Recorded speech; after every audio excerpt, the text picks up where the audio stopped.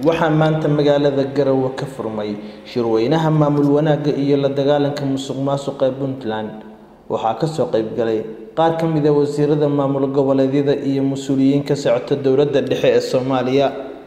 Shirkan oo soconaya labada maalmood ee soo socota waxaa daafuray madaxweyne ku-xigeenka puntland ahna kusimaha madaxweynaha cabdixakiin cabdulaahi xaaji cumar camey waxaa ugu horeyn madasha ka hadlay agaasimaha maamul wanaagga iyo la dagaalanka musuq maasuqa cabdiraxmaan cali guureeye isagoo ka hadlay ujeedka shirkan iyo sida musuq maasuqa loo joojin lahaa. Ahmiyadda shirka kan ujeeddada laga leeyahay sida inoo muuqata jaalkay daahirna carka ku dhuftay waxa weeye inay soomaaliya intay maanta isu timaadeen wax iska weydiiso. Qaabkee baynu maamul wanaag dhammaystiran oo muuqda oo shaqaynaya oo nidibada ku taagan oo sharcigu hagayo soomaaliya uga taabageli karaa sidaasi la eg. Maantay taagan tahay sidee baynu dagaal saf ballaarana? Ugu qaadnaa musuq maasuq in laysu yimaado wax layska weydiiyo oo laga tashado. Istaraatiijiyad cad laga qaato. Ayaa maanta shirka kani ku salaysan yahay. Waxaa kaloo ujeedooyinka shirka ka mid ah. In dadka soomaaliyeed isu yimaadaan. Oo layswaraysto oo wax layska weydiiyo aan mar kale ku celiya waayo ahmiyadday leedahay baa jirta. Sidee baynu maamul wanaag wanaagsan ku gaari karnaa intaasi kadib waxaa goobta ka hadlay xeer ilaaliya ku-xigeenka dowladda dhexe ee soomaaliya axmed cali abuukar isagoo ku ammaanay dowladda puntland inay qaaday tallaabo kudayasho mudan.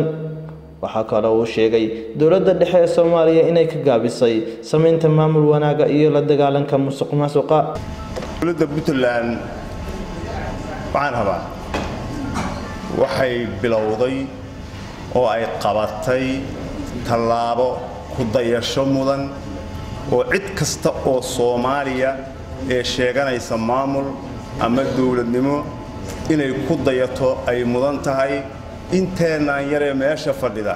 Waxaan idinka rabaa inaad sacab ugu dhufataan bilxaqiiqatan anigu hadda waxaan matalayaa dowladda federaalka. Waxaan ahay ku-xigeenka koowaad ee xelaalyaha guud ee qaranka.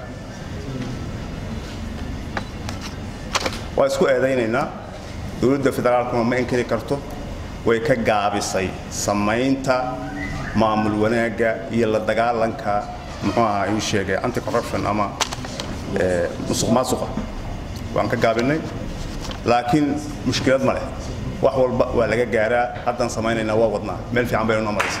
Ugu dambeyn waxaa goobta ka hadlay madaxweyne ku-xigeenka puntland ahna kusimaha madaxweynaha cabdixakiin cabdulaahi xaaji cumar camey waxaan runtii ku faraxsanahay in maanta haddaynu soomaali nahay aynu isugu nimi shirkan isagaa dowladdii federaalku waa joogtaa xubnihii ka tirsanaa dowladda federaalkuna waa jooga.